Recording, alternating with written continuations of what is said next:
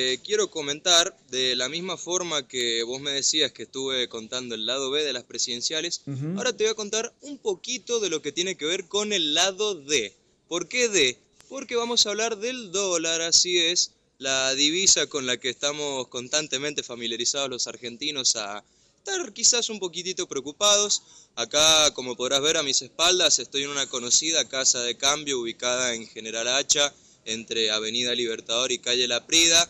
La gente que se ha acercado al lugar no es tanta como la que se ha visto en estos días. Hay operaciones relativamente normales, sobre todo teniendo en cuenta que la cotización, tanto aquí como en otra casa de cambio que está ubicada en calle Mendoza entre La Prida y Rivadavia, ha descendido considerablemente. Ayer teníamos cifras de entre 70 y 79 pesos para la adquisición de la moneda estadounidense y ahora estamos viendo unos valores como por ejemplo acá en esta casa de cambio de General Hacha, entre 65 para la compra y 68 para la venta, esto en el arranque de la jornada. Vamos lógicamente a ver cómo sigue durante, la, durante el día de hoy. Y bueno, más que nada teniendo en cuenta los efectos de este cepo restrictivo que ha implementado el Banco Central a raíz de una posible preocupación que se originó, bueno, a partir de los resultados de las elecciones, tengamos en cuenta lo que pasó en las PASO, y bueno,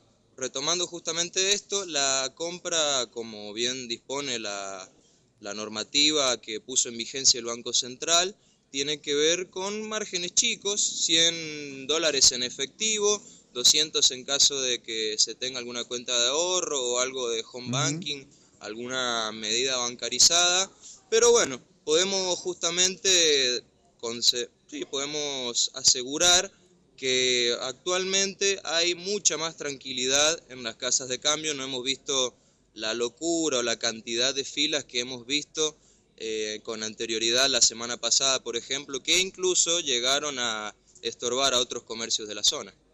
Bueno, eh, se ve claramente el impacto del cepo, eh, del cepo hard, le están diciendo los medios especializados, este cepo tan restrictivo. Eh, ayer bajó un poco, más de un peso, alrededor de un peso 50 el dólar en la City porteña y esto también empieza a llegar a San Juan y a las casas de cambio. ¿no? Empieza a bajar un poco la expectativa del dólar cuando la gente vio que con las medidas tan restrictivas bajó levemente, se terminó esta fiebre, este sobrecalentamiento que hubo previo a las elecciones. Y vemos eh, con, las imágenes que compartís con nosotros que efectivamente aquí en San Juan empieza también a, a respirarse ese ambiente un poquito más calmado comparándolo con lo que habíamos visto la semana pasada, que era una verdadera locura, ¿no?